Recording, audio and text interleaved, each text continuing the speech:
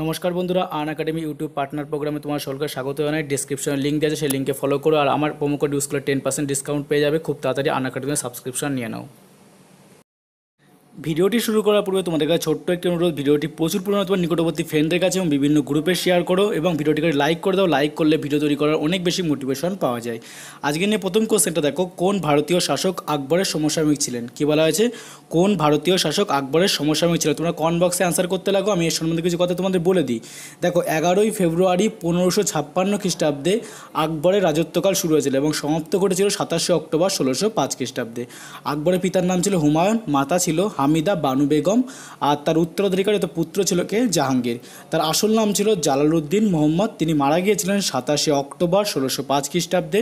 তেষট্টি বছর বয়সে তিনি মারা গিয়েছিলেন। তিনি মারা গিয়েছিলেন ফতেপুর সিকরি, আগ্রা। এটা বর্তমানে উত্তরপ্রদেশে অবস্থিত। তার সমাধি সিকান্দ্রা, আগ্রাতে রয়েছে। তো যারা বন্ধুরা অপশান এ বলছো কারেক্ট অ্যান্সার রানী দুর্গাবতী ভারতীয় শাসক আকবরের সমসাময়িক ছিলেন। অপশান এ কারেক্ট অ্যান্সার যারা বলছো। এবার দেখো পরবর্তী কোশ্চেন কী বলা হয়েছে? দারা শিকো, শেষ পর্যন্ত ঔরঙ্গজেবের কাছে কোন যুদ্ধে হেরে গিয়েছিল?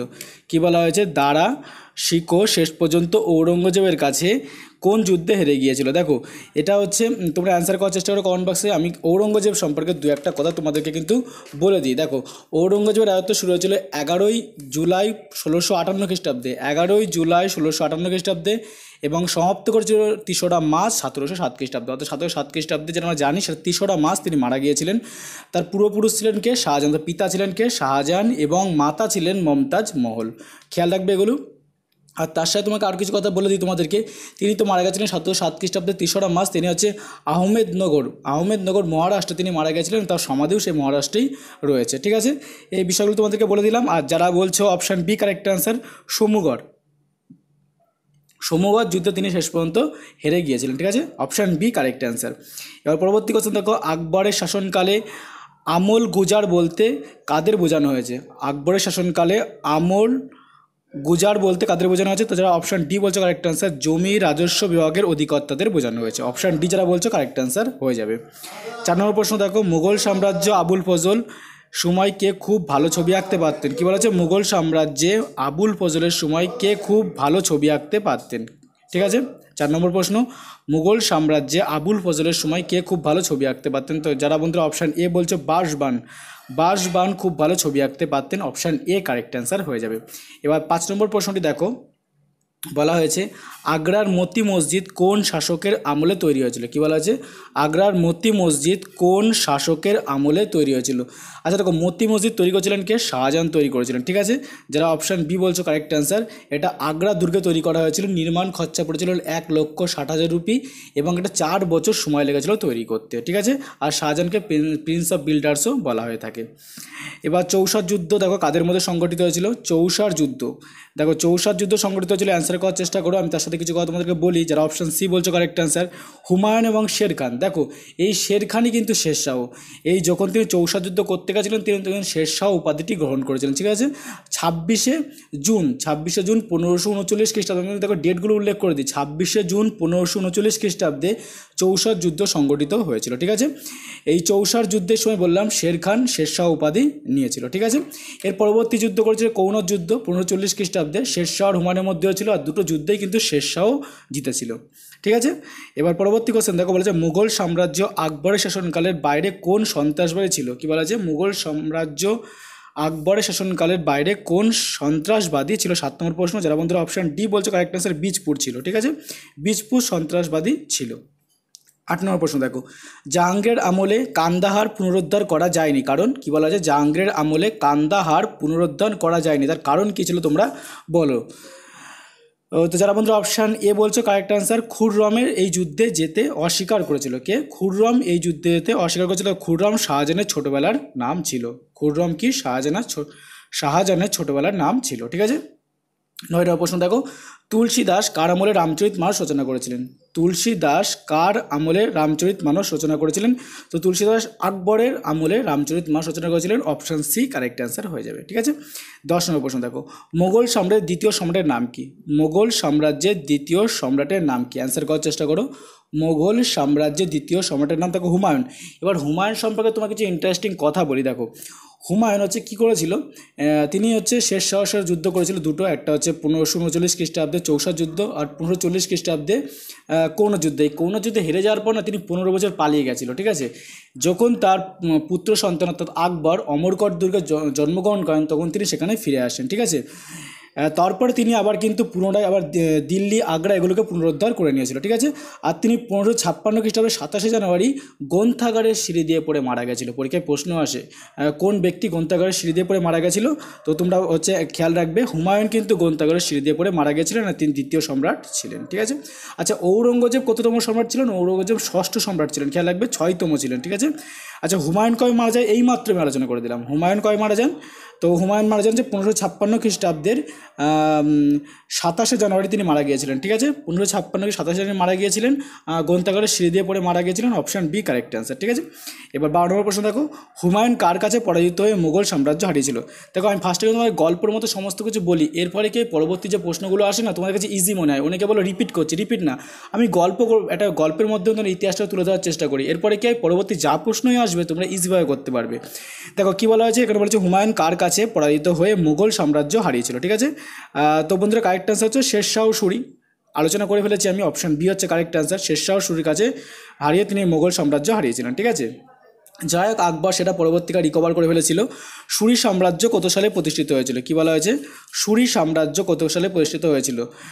তো পনেরোশো চল্লিশ খ্রিস্টাব্দে অপশান বি কারেক্ট অ্যান্সার পনেরো চল্লিশ খ্রিস্টাব্দে সুরি সাম্রাজ্য প্রতিষ্ঠা হয়েছিল। চোদ্দ নম্বর প্রশ্ন দেখো, সুরি সাম্রাজ্যের প্রতিষ্ঠাতা কে সুরি সাম্রাজ্যের প্রতিষ্ঠাতা কে ছিল শেরশাহ সুরি, অর্থাৎ এই হুমায়ুনকে হারানোর পরেই কিন্তু তিনি এই সাম্রাজ্যটা প্রতিষ্ঠা করেছিলেন। ঠিক আছে শেরশাহ সুরি, আর তিনি এই সাম্রাজ্য প্রতিষ্ঠা করেছিলেন। ঠিক আছে, যদি বেশি রাজত্ব করতে পারেননি, সুরি সাম্রাজ্য কত সালে বিলুপ্ত হয়? সুরি সাম্রাজ্য কত সালে বিলুপ্ত হয়, তো পনেরো ছাপ্পান্ন খ্রিস্টাব্দে অপশান ডি কারেক্ট অ্যান্সার পনেরো ছাপ্পান্ন খ্রিস্টাব্দে সুরি সাম্রাজ্য বিলুপ্ত হয়ে গেছিল অপশান ডি ঠিক আছে? আচ্ছা নিম্নলিখিত কোনটি শেরশাহ সুরি অনবরত কীর্তি? আচ্ছা নিম্নলিখিত কোনটি মানে শেরশাহের কীর্তি ছিল এখানে বলা হয়েছে?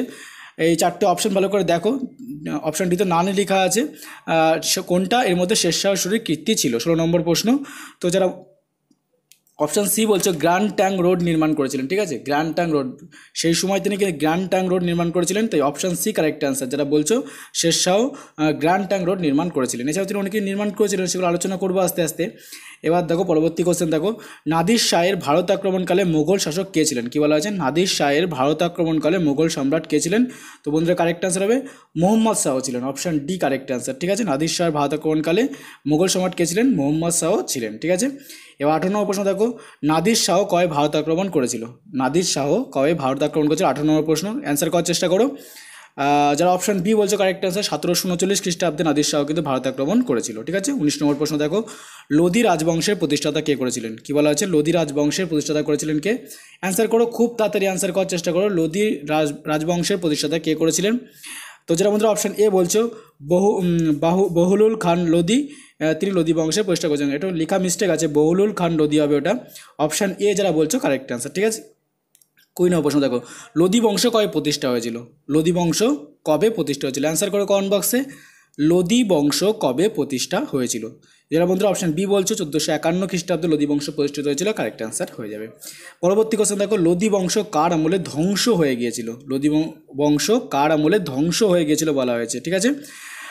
তো বন্ধুরা option C correct answer Ibrahim লোদির আমলে লোদি বংশ পুরো ধ্বংস হয়ে গেছিল পনেরোশো ছাব্বিশ সালে লোদি বংশ বিলুপ্ত হয়ে যায়, ঠিক আছে? তাহলে কোনটা answer option C Ibrahim Lodi, ঠিক আছে? ইব্রাহিম লোদির ইব্রাহিম লোদির আমলে এই লোদি বংশ ধ্বংস হয়ে গিয়েছিল, ঠিক আছে? বাইশ নম্বর প্রশ্ন দেখো, পনেরো সাতাশ খ্রিস্টাব্দে খানোয়ার যুদ্ধ কাদের মধ্যে হয়েছিল? পনেরো সাতাশ খ্রিস্টাব্দে খানোয়ার যুদ্ধ কাদের মধ্যে হয়েছিল? অ্যান্সার করো ইজি কোশ্চেন এগুলো নিয়ে আমি পার্ট ওয়ানে কিন্তু আলোচনা করেছি, তাই আমি আলোচনা করছি না এখানে আর। আর পার্ট থ্রি চাইছো কিনা কমেন্ট বক্সে কিন্তু জানাবে। যে কারেক্ট অ্যান্সার অপশান এ যারা বলছে বাবর আর রানা সঙ্গের মধ্যে কিন্তু খানোয়ার যুদ্ধ সংগঠিত হয়েছিল, ঠিক আছে? তেইশ নম্বর প্রশ্ন দেখো ফতেপুর স্বীকৃতি সম্রাট আকবর কোন কোন মহল স্থাপন করেছিল? ফতেপুর স্বীকৃতি, সম্রাট আকবর কোন মহল সৃষ্টি করেছিল বা তৈরি করেছিল? তেইশ নম্বর প্রশ্ন, যারা বন্ধুরা অপশান সি বলছো কারেক্ট অ্যান্সার পঞ্চমহল, ঠিক আছে? পঞ্চমহল তিনি কিন্তু সৃষ্টি, স্থাপন করেছিল ফতেপুর স্বীকৃতি অপশান সি কারেক্ট অ্যান্সার এবার চব্বিশ নম্বর প্রশ্ন দেখো ফতেপুর স্বীকৃতিতে মোগল সাম্রাজ্যের রাজধানী কে ঘোষণা করেছিল? কি বলা আছে ফতেপুর স্বীকৃতিতে মোগল সাম্রাজ্যের রাজধানী কে ঘোষণা করেছিল? অ্যান্সার করার চেষ্টা করো কমেন্ট বক্সে যারা বন্ধুরা অপশান এ বলছো কারেক্ট অ্যান্সার আকবর। ফতেপুর শুরুতে মুঘল সাম্রাজ্যের রাজধানী আকবর ঘোষণা করেছিল।